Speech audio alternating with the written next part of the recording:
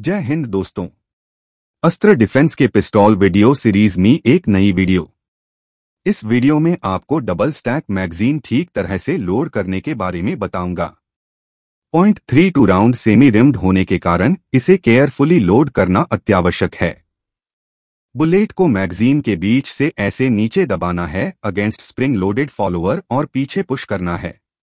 Next bullet को load करने वक्त आपके लेफ़्ट उंगली से पिछले बुलेट को नीचे दबाओ और नेक्स्ट बुलेट इंसर्ट करो। हर एक राउंड में यह इंश्योर कीजिए दैट राउंड ऊपर तरफ़ पॉइंट कर रहा हो। अगर आप ठीक तरह से लोड नहीं किए तो गोली नोज़ डाइव होने का चांस है, जिससे फीडिंग इश्यूज़ आ सकती है। जैसे जैसे राउंड्स बढ़ता जाएगा, थोड़ा स्टिफनेस का महसूस हो सकता है, जो बिल्कुल नॉर्मल है। मैगजीन स्प्रिंग स्टिफ होना अच्छी बात है, जो ओवरऑल रिलायबिलिटी इंक्रीज करता है। अगर आप नए शूटर है, जो डबल स्टैक मैगजीन पहली बार यूज़ कर रहे हो, दो थोड़ा प्रैक्टिस कीजिए, और कुछ ही समय में आदत सी बन जाएगी, और आसानी से आप तेरह राउंड्स लोड कर सकते हो।